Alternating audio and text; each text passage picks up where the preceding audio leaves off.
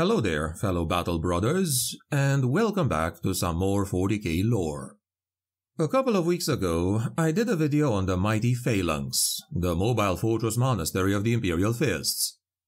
A lot of you seem to enjoy that video, and also a lot of you seem to think that you would enjoy a part 2. A tour of the Phalanx, as I somewhat advertised it in that video. So today, before we move on to another section of Legion lore in the weeks to come, we shall go over some inside lore on the fortress itself. Unfortunately, these areas of the ship are obviously not known for their dedicated artworks, but I will do my best to give something appropriate anyway. I am your host, the Grimdark Narrator, and without further ado, let us proceed, shall we? Living aboard the Mobile Fortress Monastery, it is easy to forget that the phalanx is the size of a small moon. Even given the majestic dimensions of the chapels and the cathedrals, the Assimularum and the Scriptoriums, it is too easy for someone living on board to forget the sheer immensity of this place. When one stepped onto the departure bay, though, one is immediately reminded that not only this is a spaceborne vessel, but that the phalanx is immense on a scale that is difficult for a rational mind to comprehend. On the other side of the bay, so far away that the sight of it is hazed with the distance, were the bay doors that opened out onto the cold vacuum of the void, before which were arranged hundreds of Thunderhawk gunships, Imperial shuttles, and other such craft in their hundreds. Overhead, hanging from the rafters that were barely visible from the deck, hung decommissioned aircraft and spacefaring vessels of the chapter, preserved and displayed in honor of past victories, and of those who had fought and died on board them. It was said that the departure hall was so large that it developed its own microclimate, separate from the artificial environment which prevails throughout the rest of the Mobile Fortress Monastery. That there are some strains of avian life forms roosting up in the rafters and on board those ancient and honored craft hanging from them.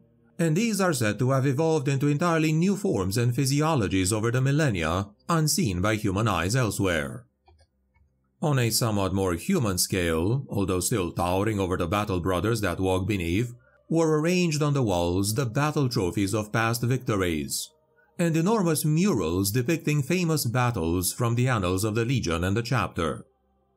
There were ancient weapons and early marks of power armor dating back all the way to the Great Crusade, preserved eternally and displayed there reverentially after age finally robbed them of their use each one carrying a provenance as long and celebrated as that of the chapter itself.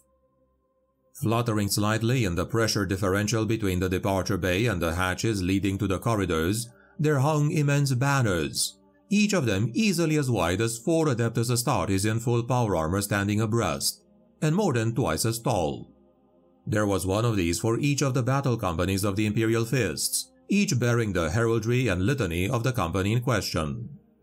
Surmounting them all was an even bigger chapter banner, golden yellow and trimmed in jet black and blood red, on which was inscribed number 7, remembering the chapter's origins as the Emperor's 7th Legion in the Great Crusade. Also the word Roma, referring to the Imperial Fist's earliest battle honor, which now existed only in a ceramite icon, which itself was considered too precious and valuable even to be put on display in the inner reclusiam of the Phalanx. Finally, the icon of the Black Fist grasping a red thunderbolt, beneath which was scrolled the legend, Sons of Dorn. There are several chapter banners, but only one of them was put on display at any given time, rotated out at regular intervals in recognition of important actions and significant victories. Throughout the Phalanx, there were also multiple tribute galleries that displayed art, standards, and captured weapons evoking the long, glorious history of the Imperial Fists. The massive foredeck of this great vessel was able to accept large transport ships, including the High Lords of Terra's own ship, Potus Terrae, the equivalent in size of a light cruiser. The dock itself had a massive atrium covered in ornate panels and four large decorated docking corridors which allowed entrance into the ship. The concourse was huge, over a hundred meters high with a domed ceiling decorated with Legion and Chapter victories. A 30 meter wide diamond sat at the top of the dome, the walls holding beautiful reliefs, and the marble floor was further decorated with a mosaic of Imperial Fist's imagery. At the other end was a massive staircase leading to a kilometer-long hall containing various trophies of conquest. Adjacent to the trophy hall was another corridor with a grand but smaller stairway and a corridor that contained damage from fighting during the War of the Beast. At the end of the smaller corridor was a hall for dining and a chamber surrounded by plain glass for meetings. The chamber held a black circular table and a finely crafted statue of a space marine in the center of the room. The foredeck of the Phalanx was so large it could dock a dozen cruisers, and had developed its own ecosystem, complete with unique species of animal life. On board the Phalanx and in the strike cruisers and bigger starships of the chapter can be found the so-called Arena Restricta, sacred halls hung with ancient and storied blades, temples dedicated to the worship of the sword. And upon that hallowed ground, battle brothers draw their weapons against one another, their feet secured in blocks of gleaming steel, while their brethren sit in solemn witness from above. The Astartes of the Imperial Fist duel to settle a dispute, to prove the strength of one proposition against its counter, or merely to test the mettle of one brother against another. And though the wounds inflicted in these honor duels are seldom fatal, it is rare to find an Imperial Fist of long years who doesn't bear somewhere on him the badges of honor won in the Arena Restricta. The area called the Sigismunda Tactica was one of the hearts of the phalanx.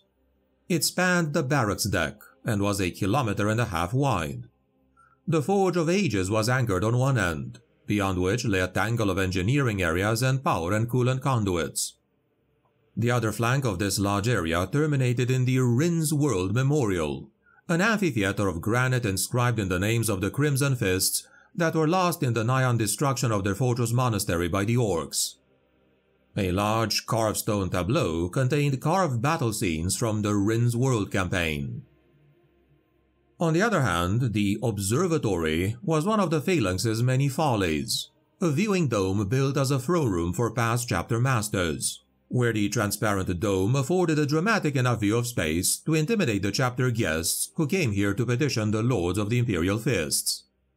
Former Imperial Fist chapter master Vladimir Pugh had little need of such shows of intimidation and kept the observatory closed for years. The Phalanx also possessed a large librarium containing the accumulated knowledge dating back all the way to the Great Crusade.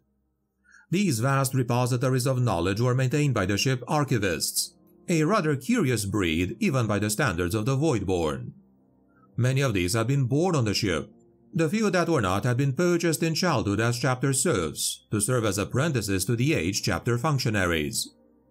An archivist's purpose was to maintain the enormous parchment scrolls on which the deeds and histories of the chapter were recorded.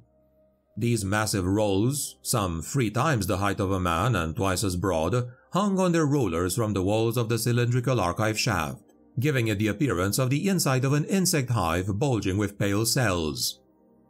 An archivist was not really a person at all, but a human-shaped shadow tolerated to exist only as far as their duties allowed.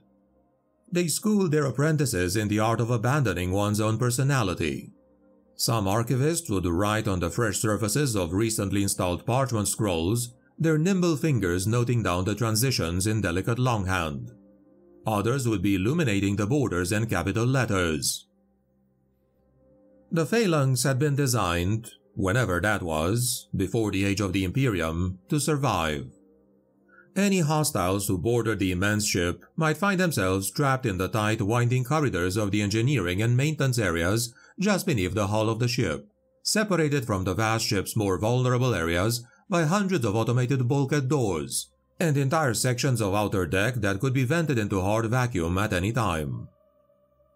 A little-known area of the phalanx lays deep in the bowels of the fortress. Known as the Panpsychikon, it was an unusual experiment that was laid dormant for two centuries. The circular expanse of the Panpsychikon was bounded by smooth walls inlaid with mosaic. The names of a hundred great battles from the Imperial Fist history were depicted there in patterns of brightly colored stone shards, surrounded by complex heraldries spiraling into an unbroken pattern. Even the name Terra was picked among the heraldry, commemorating the part that the Imperial Fist had played in the Battle of the Emperor's Palace 10,000 years earlier at the Siege of Terra.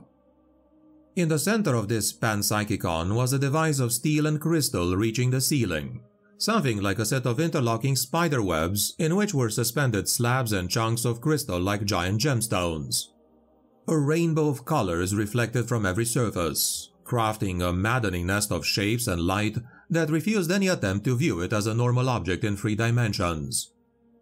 There were manacles set into the floor, one of dozens set in concentric circles around the central device.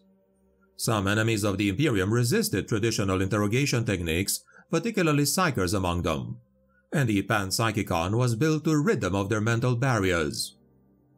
It was a machine constructed to grind down men's souls. Only the Inquisition made use of such devices, but with varying degrees of success, and never before had been one built on such a scale. The Panpsychicon would become a relic of the past, though, one rarely spoken of by the Imperial Fists themselves. Meanwhile, the Strategium is the command bridge of not only the Phalanx, but also the headquarters of the Imperial Fist chapter fleet.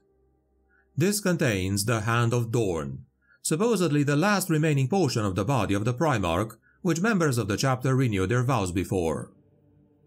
The Hall Martialis was the location of the vessel where aspirants seeking to join the chapter were gathered and trained. The Temple of Oves was an imperial shrine deep in the fortress. This used to be the spiritual heart of the Legion, but nowadays it is sealed, for those that were once permitted to walk its halls without leave from Rogal Dorn are long dead. The Cloister of Remembrance is another imperial shrine kept aboard the Phalanx, and the closest current equivalent for the chapter to the Temple of Oves. It is here that captured trophies and battle honors are kept, and where captains of the chapter renew their oaths. Finally, the Scriptum Ascenda is another archive of the chapter aboard the Phalanx. It contains commentaries by Rogal Dorn on the events of the Great Crusade and the Heresy, and the texts are said to be shockingly blunt and matter-of-fact in their manner. Over time, however, and unfortunately, the archive has become damaged and decayed, and today what were originally great military schema and predictions on the future are now reduced to garbled prophecy. Even worse, during the 13th Black Crusade, when the Phalanx went to Cadia, the Scriptum Ascenda was badly damaged.